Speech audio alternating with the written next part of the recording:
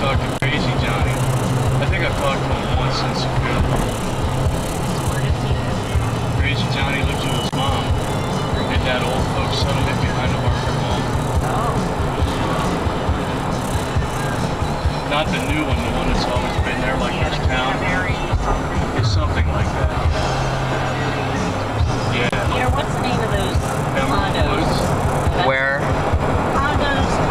Behind the mall.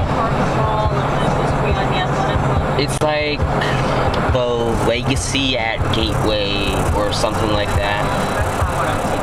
Oh, the other ones? That's. It's English Manor.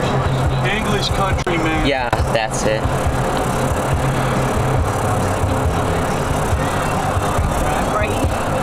I did, uh, I ran a bulldozer on that job when the crowds moved to 13.